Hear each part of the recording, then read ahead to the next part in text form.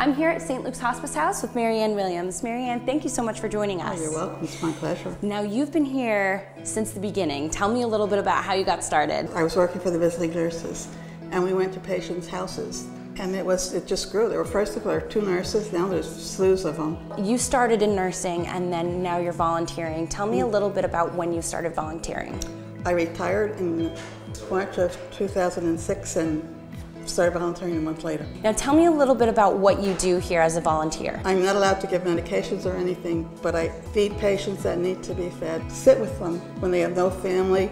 We don't like them being alone too long, so I'll sit with them. What feeling do you get when you come here and you volunteer? You know, people always say, oh, isn't that depressing? And it's not.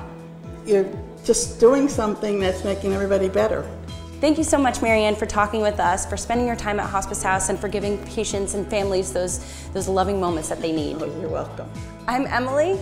And this is The Peak. And, and we'll, we'll, be, be right back. back.